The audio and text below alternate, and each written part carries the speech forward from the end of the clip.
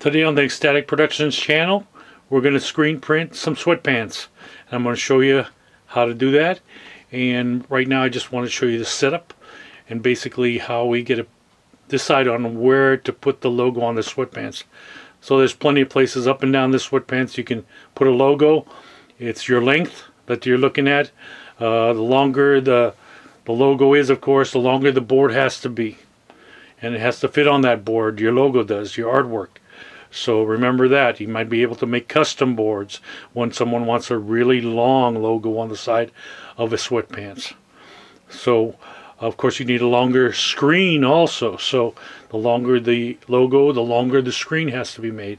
So we have some long screens, we have some short screens, and that makes us be able to do either a smaller logo on the side or a bigger logo. You're looking at the position I think that it would be good at, and that's about where we're going to screen print it, and that's coming up next on the Xstatic Productions channel. So here we are, there's our palette. It's all tightened up, it's ready to go.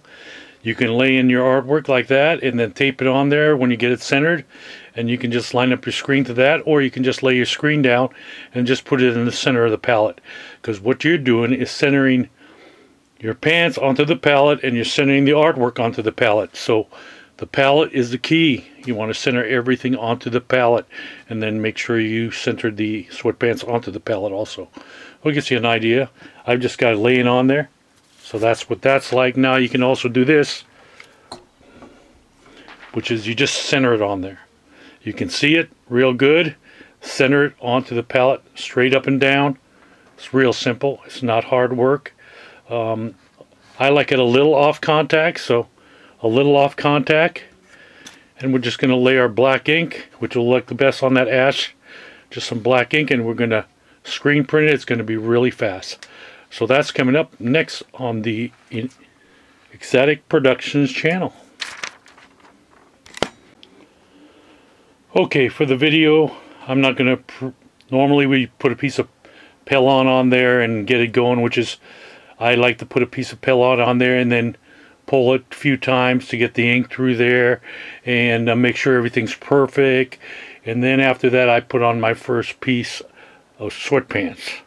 And then I screen print it. But in this case, we're just going to hurry it up. We're going to screen print this just the way it is. It means I might have to pull the squeegee like one one time more or two times more. But I'm confident that it'll look good. So let's get ahead and let's do it.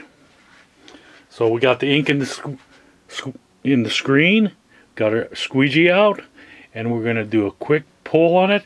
Eh, will probably be about two or three pulls. We'll take a look and see what it takes. There's one. Push it back. Two.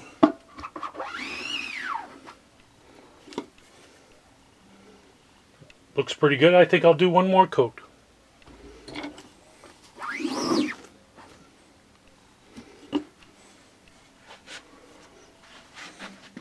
Now remember, we're screen printing with water-based because it's just one piece. I don't want to clean up the plastisol. It's a lot easier to clean up water-based black on the on these light colors like this ash.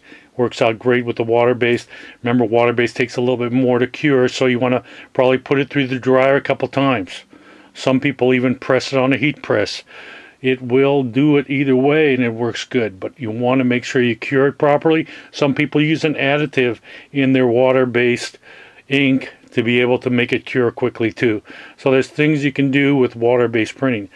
This is exactly how I would do screen printing a pant leg of a sweatpants on an ash sweatpants itself doing it doing it right.